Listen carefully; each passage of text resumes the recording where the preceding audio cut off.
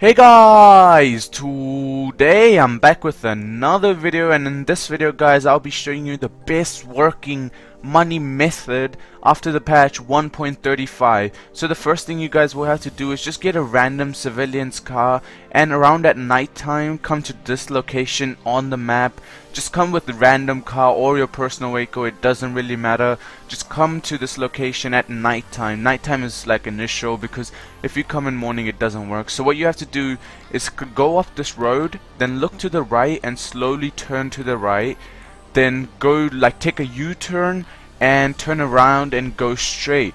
So guys this will take few tries and then you will initially get it. So once you turn around and go there you will see a car like this one. It might be a purple one or a yellow greenish one. So yeah if you get that car take it and take it to your garage and fill it up with like these cars. They are worth $25,000 guys. So every 45 minutes if you sell one you will actually make a lot of money. And if you're new to this game this is a lot of money guys. So yeah guys that's all for today's video. But the thing I want to say is I suggest you take this car to your garage rather than selling it to the mod shop because I don't know why. If you take it to your garage, you will have a better chance of selling it higher. I'm not sure, guys, but it just feels better when you take it to your garage, you like store it up and then sell it. So thank you for watching, guys. Hope you enjoyed this video.